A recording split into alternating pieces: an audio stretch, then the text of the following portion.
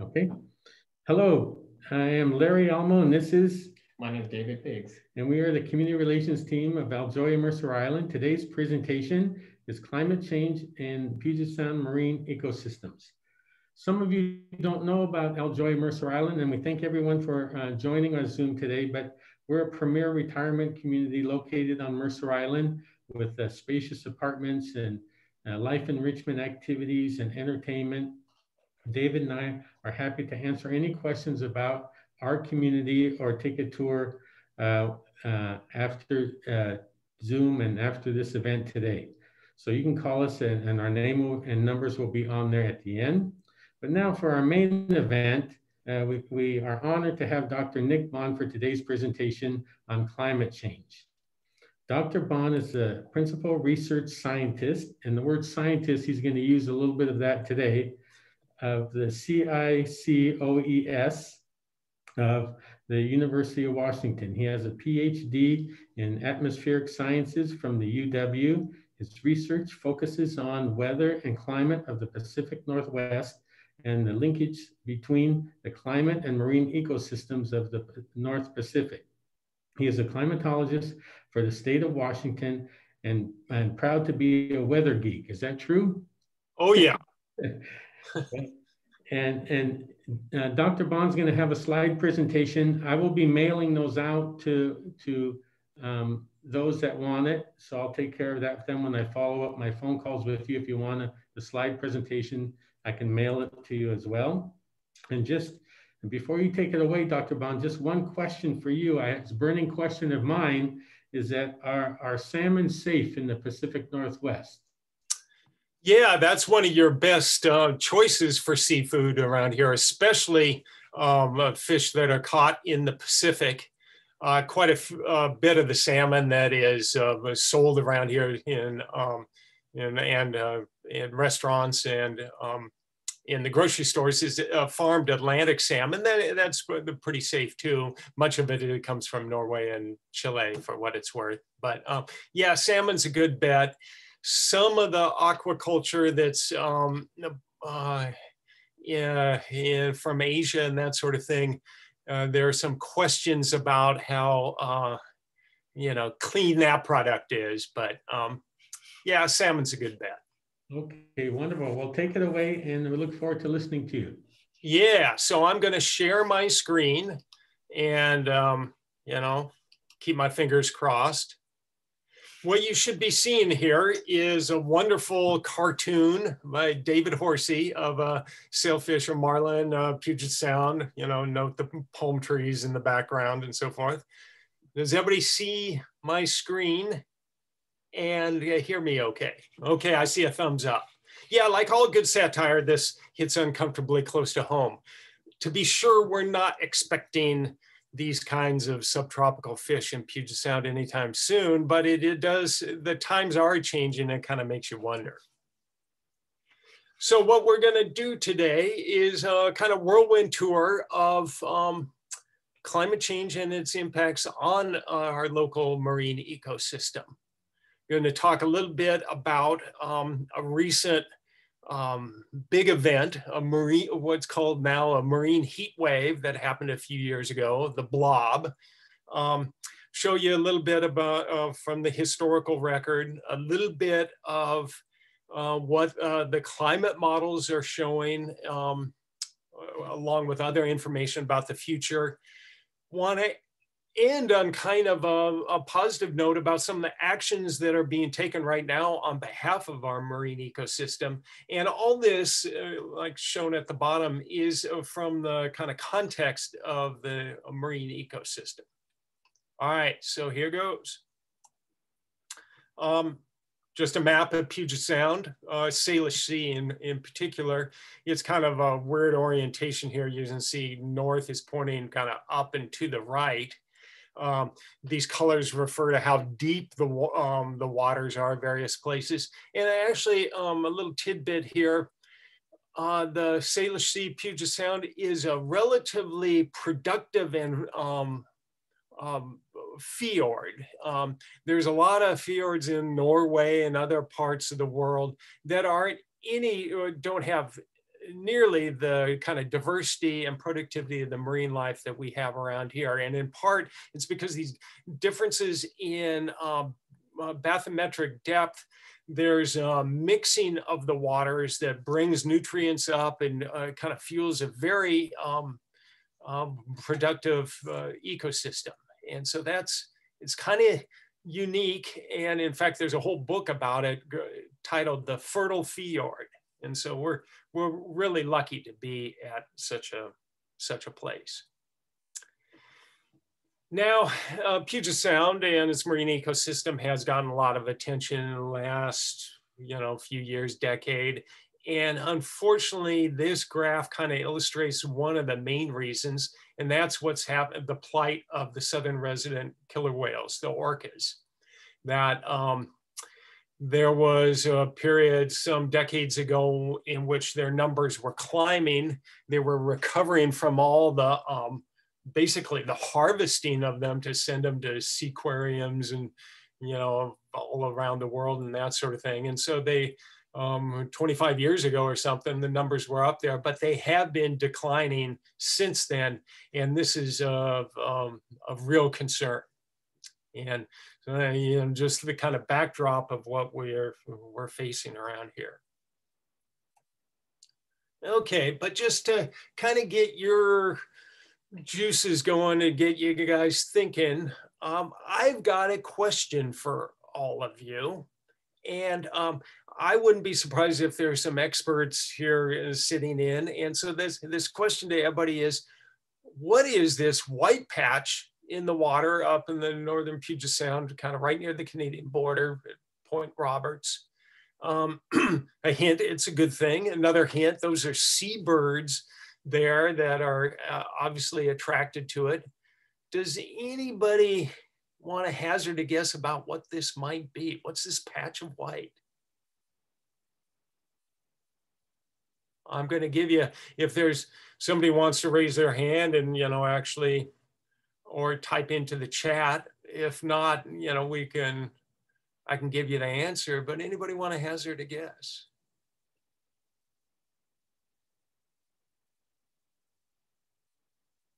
And I'll uh, ask David if anybody's um, stepping up here.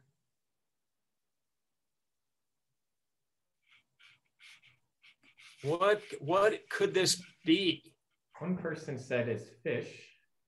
Ah, very good. Yeah, and just you know, just in the interest of time, this is actually herring spawn. This is a herring. Uh, you may have seen these uh, fantastic balls of herring. They they spawn as a group. You know, they got a name for that, right? You know, but anyway, um, uh, and so this is um, uh, their eggs basically. Um, that are, you know, hopefully being fertilized and little fish are eating those. The seabirds are going for, you know, those little fish. And the reason why it's a good thing is because herring stocks also recently have been kind of on the decline and herring actually turns out to be a real important um, part of that ecosystem. It's a forage fish that uh, marine mammals like to eat, Chinook salmon like to eat. And um, we're seeing, especially this cherry point near Bellingham, this stock really declining in, in numbers. And so just recently that we're seeing an uptick in herring spawning is, um, is a good sign. So anyway, just uh, threw that in there just to get your juices going. All right. Let's talk about an event that I now consider a four letter word, the blob and that refers to this unusually warm water that was um, um, in the Northeast Pacific off our coast uh, some years ago, about five years ago. Uh, if you look at uh, for a box about a thousand kilometers on a side or so off the coast of the Pacific Northwest, we have um, pretty good estimates of sea surface temperature going back over a hundred years and relative to kind of a baseline value there, um, going back to 1900, you can see there's warm years and cold years and kind of warm periods and cold periods and you know, maybe a weak upward trend and then, whoa, what happened here in 2014 through 2016? Out there, temperatures that we did not anticipate happening anytime, you know, around this period. Um, uncharted territory and kind of unsettling um, here in 2019 into 2020, another um, period of uh, much warmer water than normal. And um, so this has had big impacts on our um, marine ecosystem. And uh, a theme I'm going to get back to, we're kind of trying to learn from this uh, because it, in some ways it is kind of a dress rehearsal for climate change. Now that was for a box off the Pacific coast. Here in Puget Sound itself, direct your attention to this top plot here, uh, this bar graph, uh, just going back to 2008, with the blue color showing over the top 50 meters when it was kind of on the cool side. And here are the blob years. Oops, I said that four letter word. Um, there, especially 2015 through 2016 when it was really warm. Um, and then kind of continuing that way. Um, and then ju just direct your attention to this bottom bar chart here showing um, uh, dissolved oxygen contents in the waters of Puget Sound um, here, where red means a deficit in oxygen. Um, you know, animals need to breathe just like we do, and a lower oxygen concentrations, they can literally suffocate. And so um, what that shows is during the cool period, there was actually fairly high oxygen concentrations, but um, starting even before the heyday of the blob, there have been some um, uh, periods of, of low oxygen concentrations. Another perspective on that, and especially a problem spot in the uh, Puget Sound region is in Hood Canal, and these uh, show for individual years 2011 through 2019. The perspective here is on each of these charts, it's the top is at the surface and the bottom is at 30 meters down. The red colors show where there's lots of oxygen. The blue colors where it's uh, really low and to the point that um, a lot of animals just can't survive in that. We can see in these um, you know, it's not just the blob years, but they were especially bad for oxygen concentrations at depth.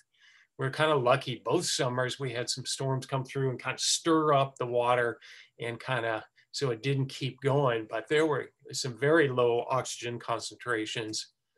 And the result, this kind of washed out uh, photo, um, were um, dead fish, this um, uh, flatfish that washed up on shore in Hood Canal, that's a dead red rock crab. I think those are probably, well, um, yeah, I'm not exactly sure what those are. It could, um, but anyway, there were some, definitely uh, some fish kills there in 2015. Now this uh, chart itself breaks all the rules about good graphics and presentations and you know guilty as charged and all that what uh, some folks have done just looking at this region, the San Juan Islands, have kind of looked from both from the climate side, local kind of temperature and other conditions, and then at different um, uh, parts of the ecosystem, just how all those have gone together. And just the main point I want to get across there is during the, there were some cool years, relatively cool, in earlier this decade. And during those periods, most um, of the elements of the marine ecosystem, like seabird nesting success and um, uh, uh, marine mammal health and so forth, most of those were um, were in good shape. And then during these warm years and kind of 2014 through 2016, continuing in there, there was um, uh, just things weren't as good for uh, many parts of the marine ecosystem. And so the idea that, you know, we, we have these kind of cold and warm years and cold and warm stanzas and the marine ecosystem responds to them. Another thing that we've seen recently um, that wasn't never seen before, but just in many cases it's been seen in a bigger way, is unusual things like this uh, particular um, bloom of this, uh, this species of plankton, of algae, that turns the water as just this kind of milky green, it's almost like glacial runoff. Um, and so this was, this was in 2017 as we we're kind of coming out of the um, very warm water of the blob. And uh, it actually, uh, it may look kind of striking, but if you're a seabird, um, it's really hard to find prey because this, uh, when these blooms are so thick, it uh, reduces the visibility. You just can't, um, if you're a visual feeder, you just can't find your prey. And so there, um, there can be problems when this uh, sort of thing happens. Excuse me some of the things that happened in the blob weren't restricted just to in the saltwater Puget Sound itself. That year, uh, where it really got its going in the winter of 1415 was the warmest winter in Pacific Northwest history, including Washington State. We had a fair amount of uh, near normal precipitation, but except for the highest elevations in the mountains, it fell as rain rather than snow and so there was um, we had um, some moderate floods had a lot of water coming down off the mountains because it rained. Um, and so what's shown in this graph for which goes from January 2015 through the end of September 2015 this blue trace shows what the stream flow was each day. Um, through that year. These gold dots show the average for that time of year. And so we had some, some pretty big flows in the winter time, but because it was so warm and it was just rain rather than snow, the um, there wasn't very much of any in some watersheds uh, snow to melt to get us through at least the start of the dry season. And so the stream flow went into the toilet kind of literally compared to normal. And at the same time, with those low stream flows, the temperatures in that stream, this happens to be the South Fork of the Nooksack River, went up, uh, rose to levels that were um, much greater than usual for that time of year.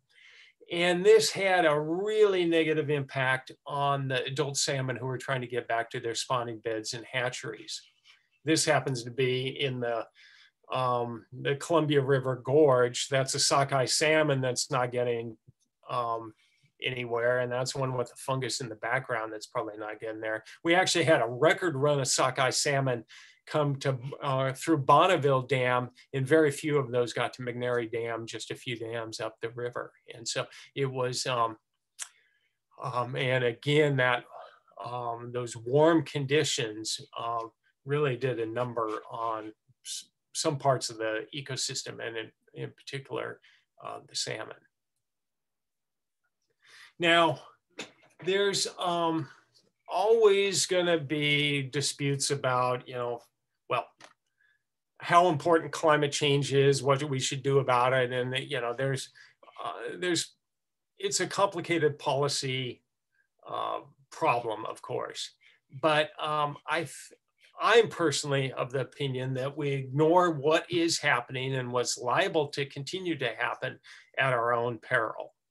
And um, so, uh, again, thanks to David Horsey, um, I should, if I ever meet him, I should give him like a hundred bucks or something. I, have used his cartoons in so many of my talks that um, I owe him big time. But yeah, global warming is a real thing. And uh, again, um, we should do what we can um, about it, both to mitigate it and in terms of adapting to it. And, uh, you know, kind of starting off there, um, one thing that is not generally appreciated is just how much of that extra heat that's in the atmosphere ocean climate system is actually going into the ocean. This is a global perspective, but over 90% of the extra heat that we have coming out of the sky because of enhanced greenhouse gas concentrations, most of that is going into, vast majority into the ocean. Couple percent is going into melting uh, ice both ice sheets and glaciers. Couple percent is actually heating up land. We got some borehole temperatures. We know about that. The atmosphere is only, you know, part of the tail of the dog. Only 2% of that extra heat is going into the atmosphere. And so people are arguing about, oh, the model's getting this right or something like that. The ocean is taking up a lot of the, the extra heat in the system. It's taking up about 30% of the extra carbon and, uh, but again, more than 90% extra heat. Well, want to go back.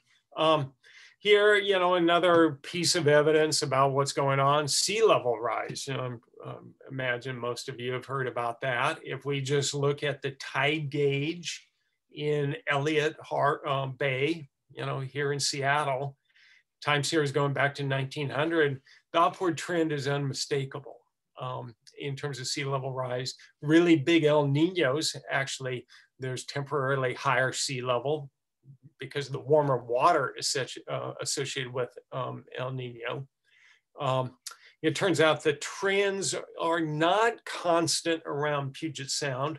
There's still um, geologic processes that are impacting sea level.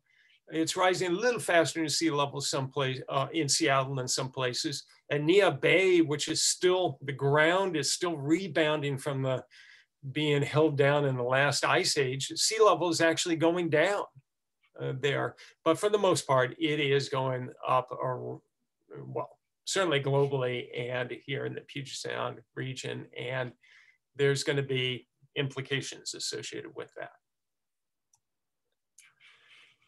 Speaking of those implications, one thing that I want to uh, kind of stress here is to avoid the doom and gloom sort of perspective this cartoon that was published, you know, 10 years ago or something about how all the world's oceans are all going to go to the Dead Sea. No way. The sun's still going to come up. There's still going to be nutrients. Um, phytoplankton will grow. Other things are going to eat that. There's going to be a food web.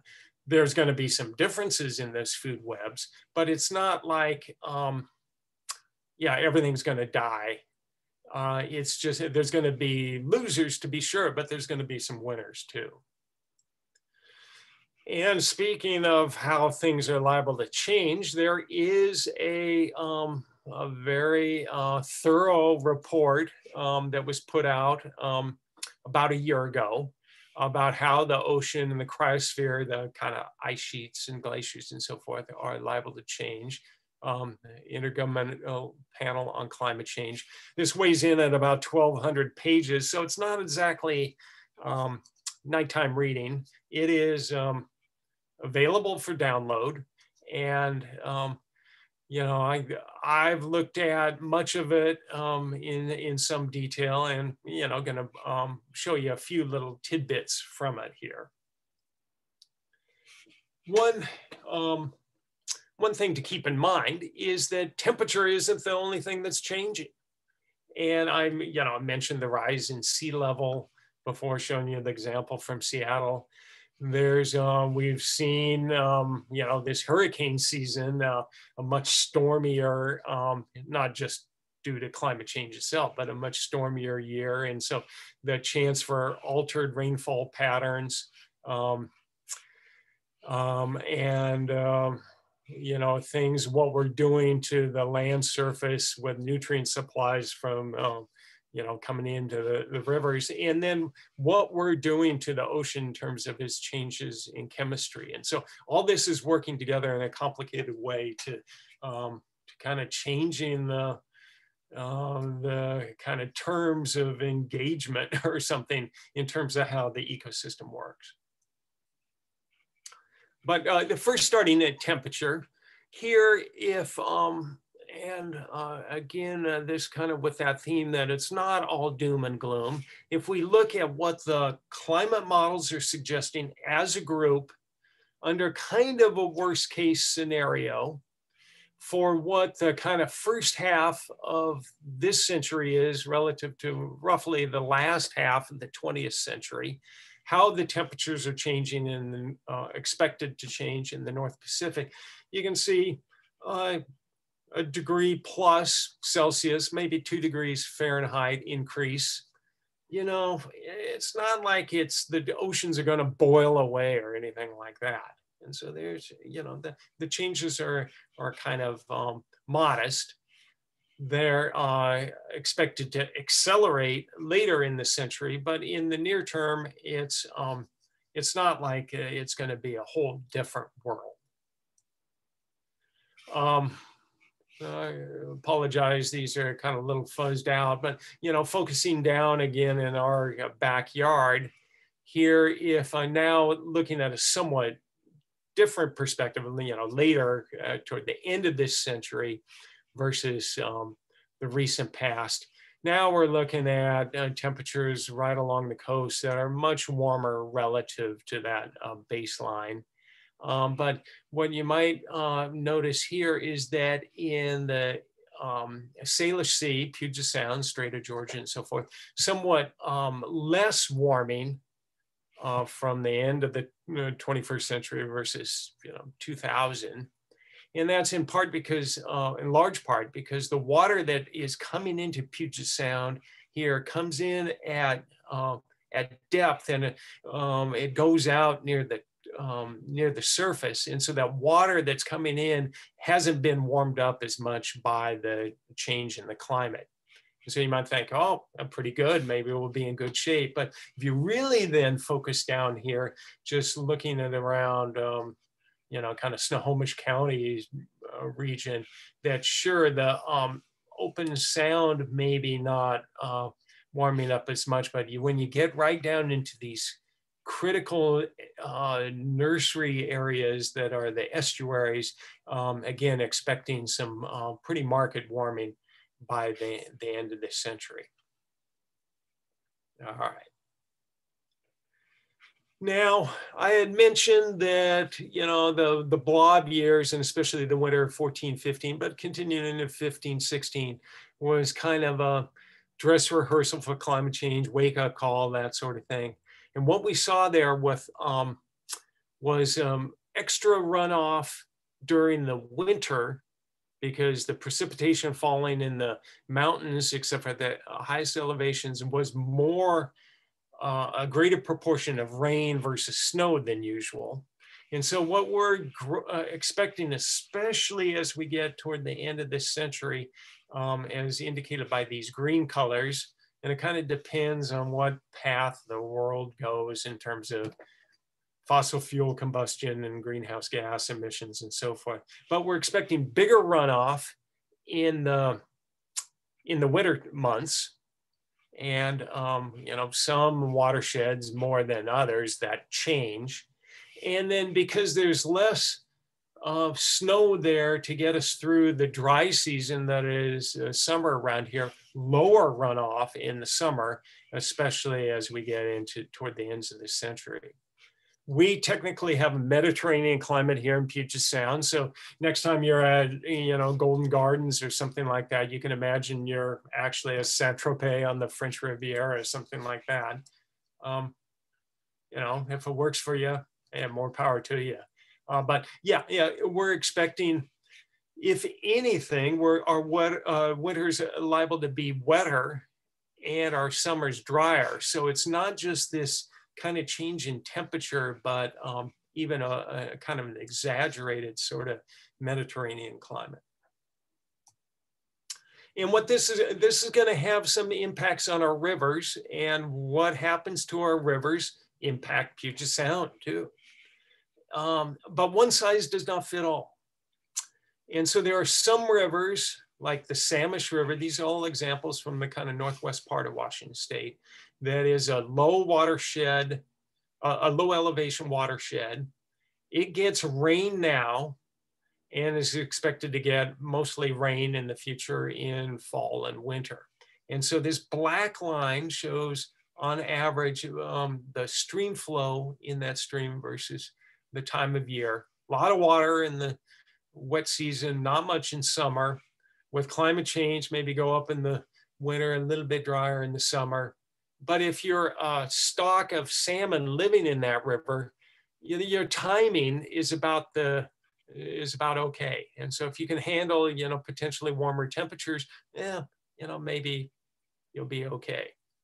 but there are other rivers that have a different kind of seasonal cycle. Right now, for this, the Snohomish River gets some snow and some rain in the winter, and so it gets some big flows, floods even.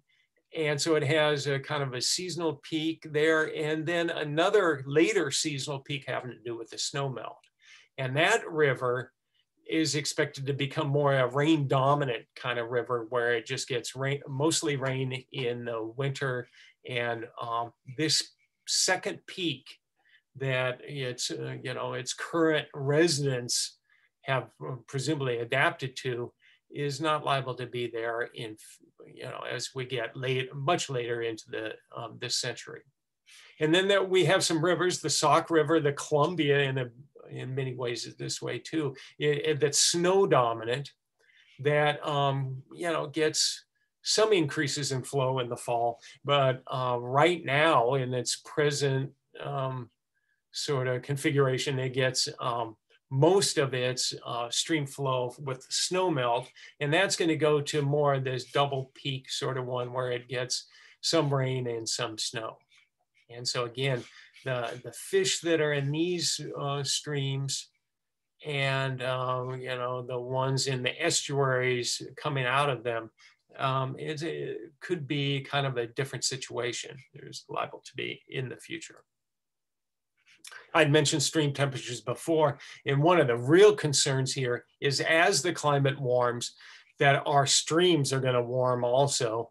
And uh, salmon and trout, they don't like really warm water. And the problem with those blob years, I showed you the uh, dead salmon that weren't getting to the uh, spawning grounds was because of the um, some of the very warm temperatures they encountered. And unfortunately, that is um, looks to be more and more the case overall. Um, not every year. This year is liable to be a good one coming up. La Nina winters, we get a lot of snow. It tends to be on the cool side. So maybe not a problem this year, but when we have another blob event, you know, uh, that's what we're worried about. We can do something about this and kind of hang on to that thought. I'll, we'll get to that in a minute. All right. I've uh, blabbed a, a, bunch here, so I'm going to um, ask you guys a question here. I, I, you know, I use the term marine heat wave. Everybody knows about heat waves, you know, when it's hot in the summer and that sort of thing. So do you think we're going to have, and we're talking here about the frequency, do you think we're looking at more of a kind of weather type atmospheric heat waves or more you know, ones in the marine environment or the water temperatures. With climate change, which one do you think is going to increase in frequency more? Now, this is a uh, this is a tough question. This is one for grad students, uh, but um, I'm just kind of curious about what uh, what people might have be thinking about this one. So I'm going to pause for a second, let David, um, you know, see if anybody wants to suggest an answer.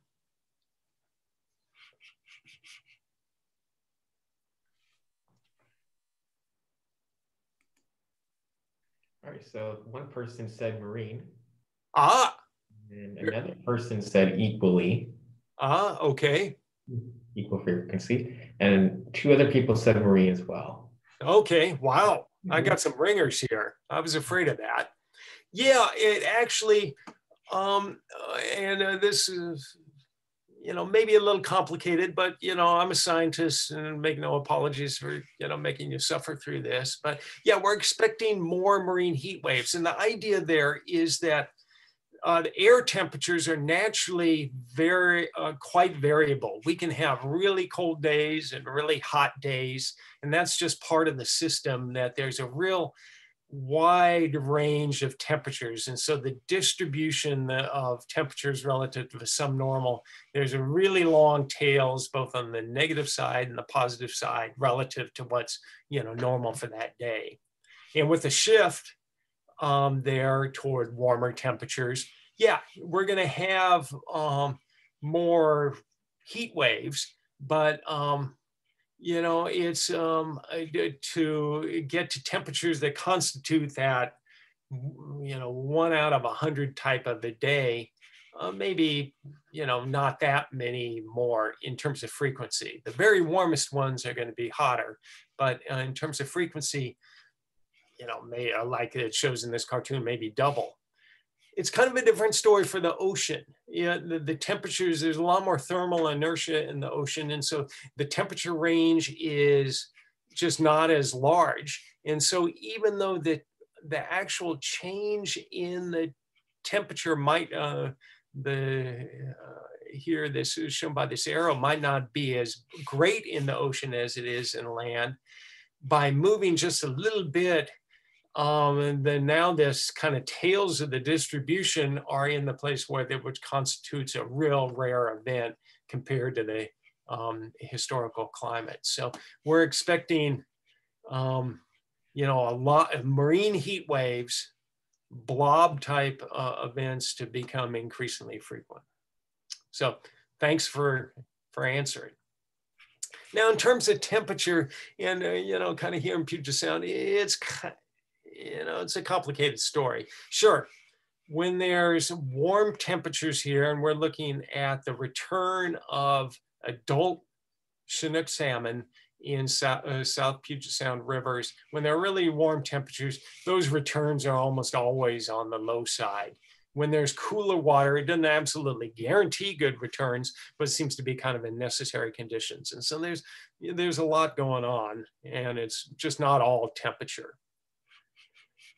One thing we'll never get the salmon kind of um, uh, you know, runs that we got in the 1800s when it was just, you know, uh, even a boom time for the economy as a result. And so we have to recognize we're never getting that back, but um, we can do something to try to uh, keep them as, as healthy as possible.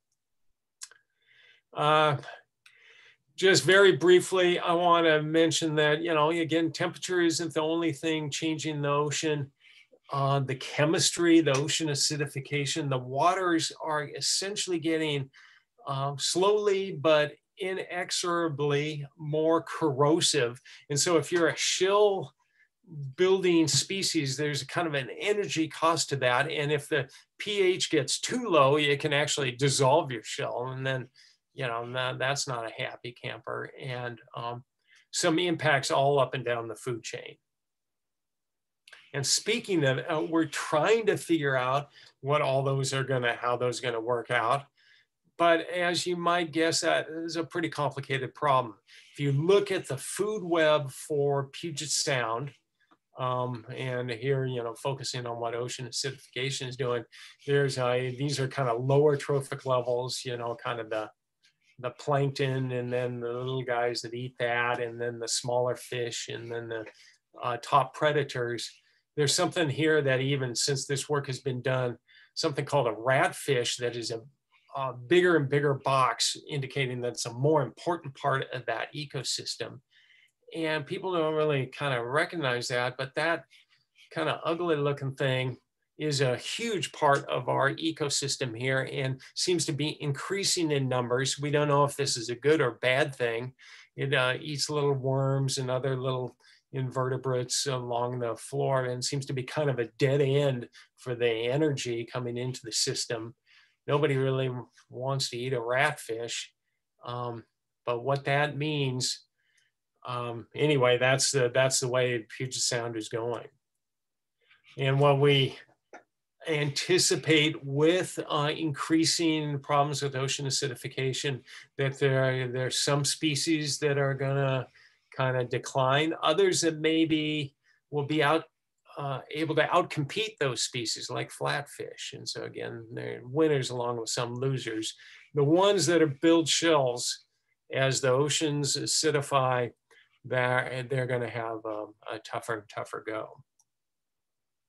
Another thing we're anticipating is kind of an increased windows that have favorable con conditions for harmful algal blooms. Uh, that's already a problem, a human health issue in Puget Sound waters. And uh, when temperatures are warm enough, it doesn't absolutely guarantee a bloom, but it seems to be kind of a necessary condition for it. And we'll just, we're anticipating that uh, a greater length of time in which um, the waters will support. In this case, this is um, a type of algae, Alexandrium, that causes a really potent neurotoxin, um, paralytic shellfish poisoning um, that you don't want any piece of. Uh, it can be fatal, um, in fact. Uh, the other thing we're seeing and have to anticipate is as again sea level rise is going on, um, that what our present kind of what's going on in the estuaries where there are tidal marshes versus beaches versus swamps and so forth, that's going to shift. And how that's all going to play out is not completely understood at all. But there, there are going to be some repercussions, and there's going to be some habitat that opens up and other habitat that's going to be lost. And we're trying to figure out again um, how that's going to work, all going to work out.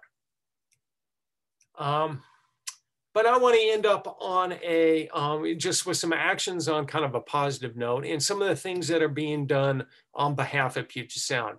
There's a state agency called Puget Sound Partnership that it doesn't have regulatory or um, authority or a lot of money, but is trying to kind of, um, you know, galvanize some of the uh, things that we need to do to protect and restore Puget Sound.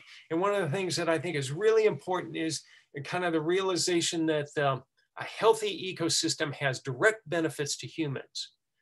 Um, people uh, want to be outside and enjoy the environment when it's a pleasant place to be.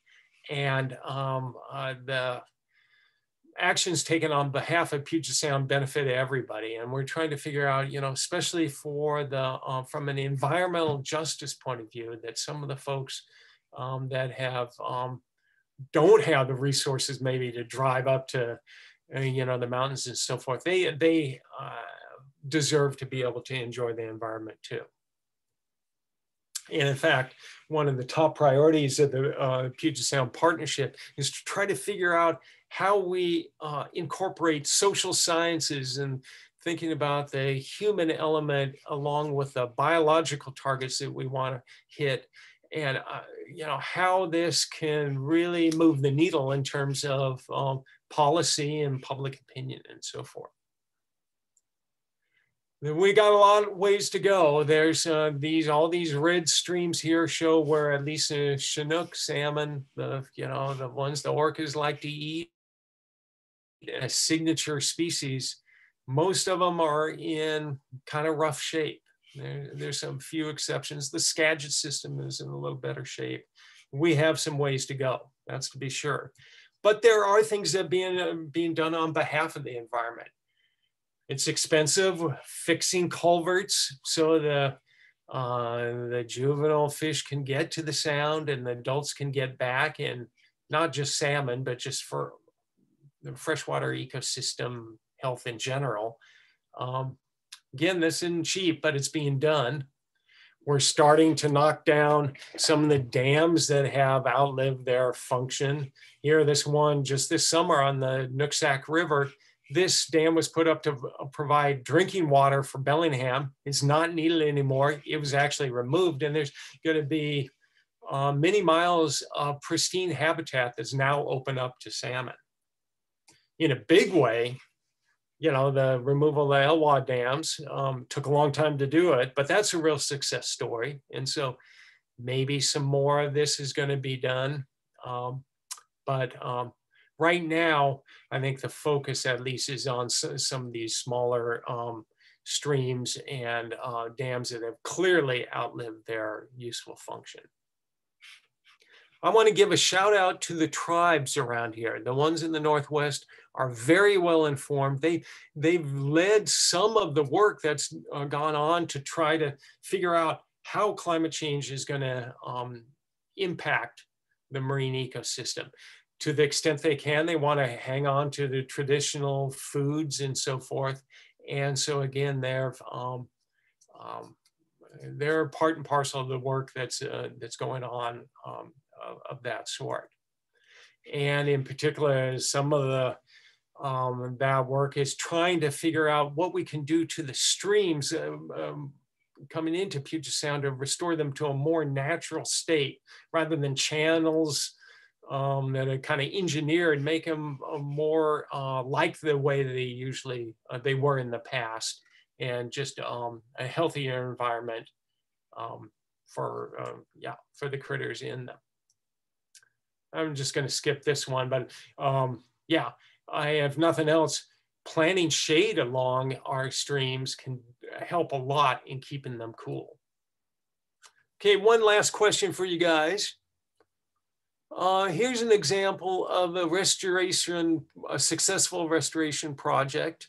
May not look very impressive here, but these kind of estuaries, you can't really boat here. Of course, you can't farm it, you know, can't put a house there. But these kind of sort of areas are really key to, um, to Puget Sound. So where do you think this place is? And I bet you all of you have driven past it, a part of it.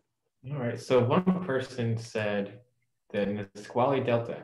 Oh man.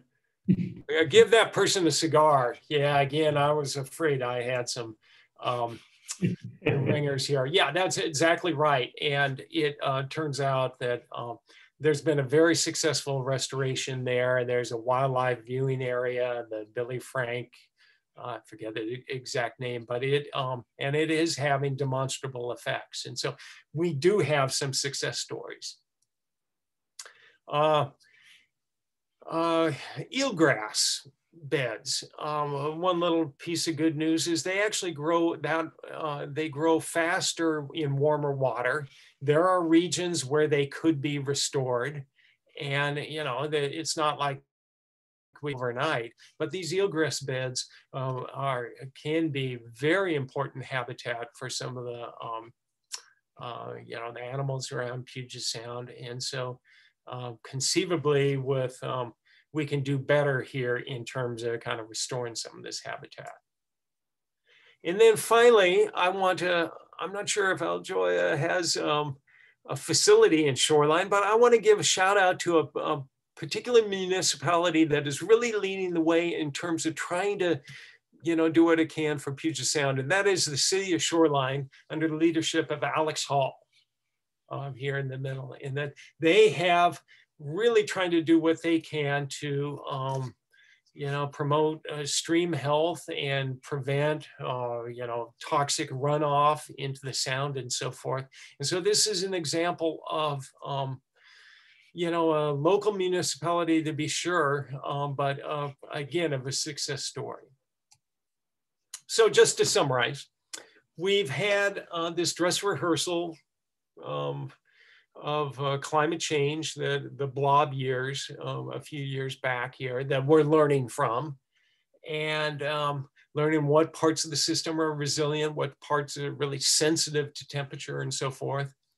And uh, the question I'm going to leave you with, and maybe there'll be some discussion, is you know, obviously we don't have infinite resources, and given you know current um, problems and that sort of thing, but still, what what should we do in recognition of the changing climate to try to preserve this um, uh, the Puget Sound that we all, um, you know, you're attending this talk, you obviously care about it, but that we all care about. And so I'll leave that as an open question and um, appreciate you kind of sitting in today. And so let's go. All right, thanks, Dr. Nick Bond. Uh, looks like we don't have any other, other questions unless someone wants to type some into the chat box, they can. Or you could, um, I'd be okay. You know, there's not too many of us here. Just unmute everybody and just you know shout them out. And yeah, let's let's have a little discussion. Um, I'm sure somebody's got a question. Okay, so everyone's. I'm gonna try to unmute everyone here. So everyone can ask a question if they want to right now. If they have anything. Don't be bashful. Where are we? Are we unmuted? I think so.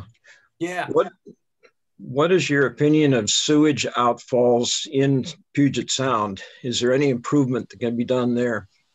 Yeah. Wow. you started me out on a hard one. Yeah, that, that's a real uh, contentious issue. Just um, in certain places, um, yeah, that's certainly a problem, especially in the South Sound where they're kind of more sluggish uh, circulation, and there's even commercial shellfish beds that have been kind of tainted with that. Um, in other places, it's not clear whether um, it makes a huge difference, and so one size doesn't fit all in general, I think there's um, uh, kind of a, we're going toward trying to remove the nutrients going into Puget Sound now, and that that is um, kind of messing up the ecosystem. What happens when those nutrients go in, they can promote too much of an algae bloom. And when those, uh, when that, um, those algae decompose bacteria break them down and consume oxygen and that it can have repercussions on the system. But um, yeah again it's uh, there are certain places where that's a bigger problem than other uh, um, places. And um, how expensive it will be to make um, you know relatively minor impacts is something that we just have to kind of figure out and, uh, and settle. And so that that's a kind of an ongoing issue. And great question. Okay, uh, we just got another question here in the chat box. Uh, Mark Blitzer asked if we can, if we are able to get a handle on increasing the rise in air temperatures, will ocean temperatures follow just more slowly? Yeah, yeah, so in some of these talks that I give, uh, you're exactly right. Very insightful there. That the ocean, because of its kind of thermal capacity, is going to slow uh, is warming more slowly than kind of land areas, and so the kind of coastal regions, the west side of the mountains, uh, not going to warm as fast as the east side because of that, and um, so yeah, exactly right and even though the oceans are taking up from a uh, kind of total energy heat perspective, a lot more of the um, extra heat in the system, their temperatures are actually rising slower than um, atmospheric temperatures and uh, therefore, you know, kind of temperatures over land. And um, one consequence there that we're starting to think about is whether with um, lesser warming here on the west side of the Cascades, will the Puget Sound area ultimately be kind of a place for climate refugees?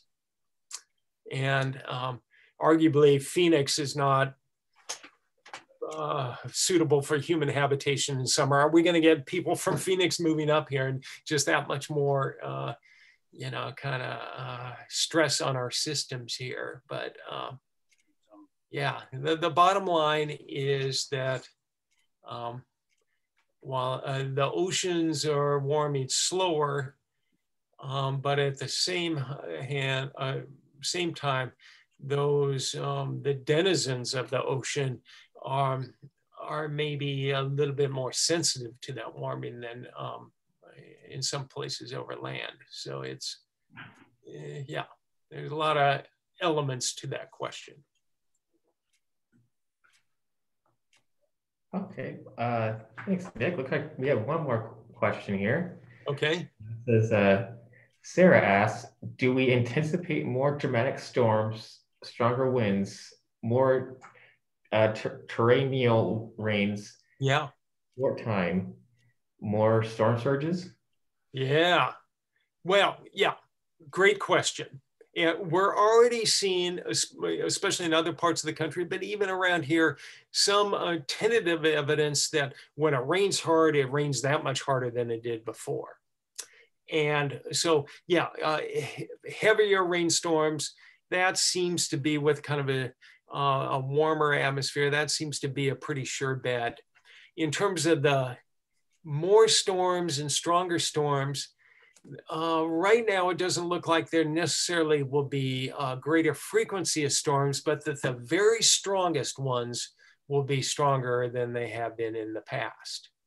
And that um, So the real doozies, the kind of ones that get the name, the Columbus Day storm, the Inauguration Day storm, the Hanukkah Eve storm, that those sorts of ones will be um, somewhat stronger.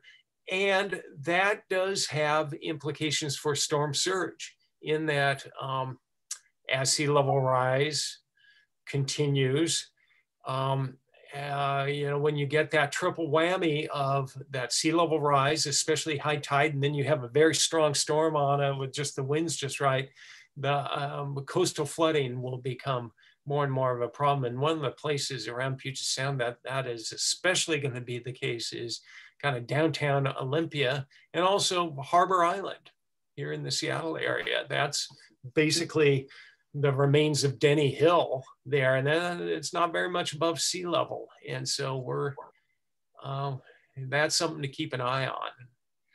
So great question. We have two more questions. We're out of time, but we have two more questions. Nick, do you have a couple minutes for a couple more questions? Oh yeah, yeah. I got all morning. Oh, good. Okay, great. So this one was from Janet. Uh, her question is, what bird species here are apt to be more affected by climate change? Uh, say again, the, the species more uh, affected by climate? Yeah, what uh, what bird species are oh, oh. more affected by? Ah, ah, yeah, yeah, yeah. Um, yeah, we had during the blob years, um, we had some massive die-offs of uh, seabirds along um, uh, first along the Pacific Northwest coast and then in the Gulf of Alaska. And the ones that um, target um, the kind of cold water um, zooplankton, the kind of the bugs in the um, in the marine system, um, are the ones that are going to be, um, you know, really under the gun. And so a, a common murre is one of those. There's um, uh, a type of uh, kind of, it looks like a, almost like a little miniature seagull, a type of auklet off our coast that uh, in the winter of, uh, let's see, that was 14, 15, there was a massive die off of that. And so ones that are really specific in their prey preferences that like cold water species, those are the ones that are gonna um, do poorly or have to move north to, to colder water.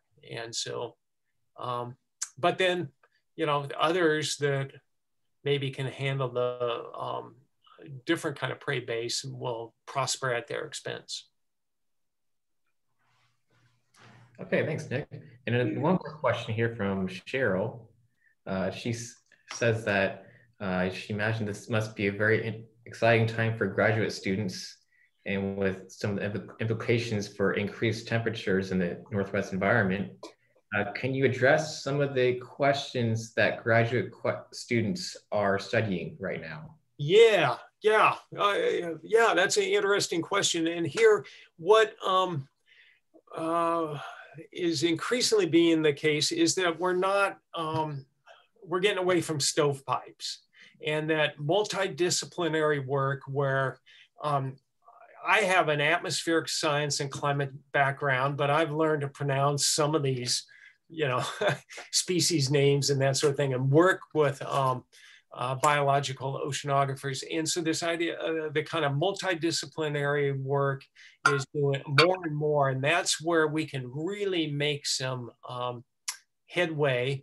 And, and in particular, um, the multidisciplinary, and I kind of mentioned this in my talk, uh, kind of the uh, the social sciences um, along with um, physical and biological sciences. You know, these are important, complicated problems, and we we need different approaches, and we need to know what kind of can move the needle in terms of um, setting policy to you know protect our systems and to kind of um, figure out what um, you know what people really benefit from what the economic, the true economic uh, costs and benefits are and so forth.